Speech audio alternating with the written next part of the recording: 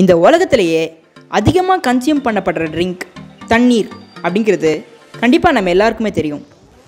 ஆனால் இந்த உலகத்திலேயே தண்ணீருக்கு அடுத்தபடியாக அதிகமாக கன்சியூம் பண்ணப்படுற ட்ரிங்க் எது அப்படிங்கிறது நமக்கு தெரிஞ்சிருக்காது இல்லையா?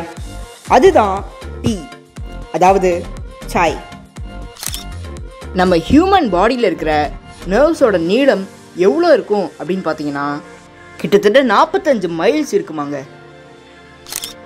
இந்த உலகத்தில் இருக்கிற எல்லா கான்டினென்ட்ஸ்க்குமே கண்டிப்பாக டைம் ஜோன்ஸ் இருக்கும். ஆனால் இந்த உலகத்திலேயே டைம் ஜோனே இல்லாத ஒரே கான்டினென்ட் எது அப்படின்னு பார்த்தீங்கன்னா அது அண்டார்டிகா தாங்க. இந்த உலகத்திலேயே அதிகமான ஆப்பிள்ஸ் ப்ரொடியூஸ் பண்ணுற கண்ட்ரி எது அப்படின்னு பார்த்தீங்கன்னா அது சைனா தாங்க. அப்படி எவ்வளோ ப்ரொடியூஸ் பண்ணுது அப்படின்னு பார்த்தீங்கன்னா இந்த உலகத்தில் இருக்கிற ஆப்பிள்ஸில் கிட்டத்தட்ட ஐம்பது சதவீத ஆப்பிள்ஸை சைனா தான் ப்ரொடியூஸ் பண்ணுதான். ரெண்டாயிரத்தி பதினொன்னுலேருந்து ரெண்டாயிரத்தி பதிமூணு வரைக்கும் சைனா யூஸ் பண்ண சிமெண்ட் டுவெண்ட்டீத் செஞ்சுரியில் யூஎஸ்ஏ யூஸ் பண்ண சிமெண்ட் விடவும் அதிகமாம். அதாவது இருபதாம் நூற்றாண்டு முழுக்க யூஎஸ்ஏ யூஸ் பண்ண மொத்த சிமெண்ட்டை விடவும் இந்த மூணு வருஷத்தில் சைனா யூஸ் பண்ண சிமெண்ட்டோட அளவு அதிகமாம். Human population one billion reach பண்ணுறதுக்கு இரநூறாயிரம் வருடங்கள் தேவைப்பட்டது. ஆனால் செவன் பில்லியன் ரீச் பண்ணுறதுக்கு வெறும் இரநூறு வருடங்கள் தான் தேவைப்பட்டது.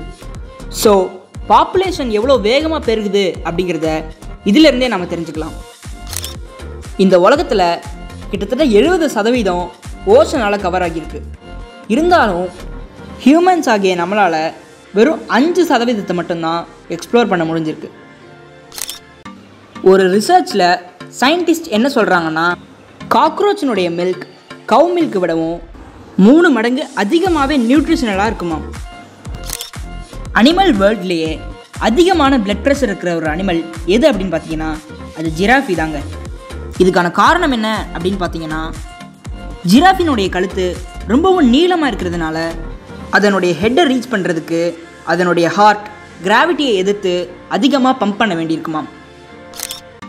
ஸ்க்ரீனில் தெரிகிற இந்த இமேஜை பாருங்கள் இந்த இமேஜில் உங்களுக்கு என்ன தெரியுது? என்னடா இதெல்லாம் ஒரு கேள்வியா? மண் உள்ளேருந்து யாரோ கை விட்டுருக்கிற மாதிரி தெரியுது அப்படின்னு நீங்கள் சொல்வீங்க.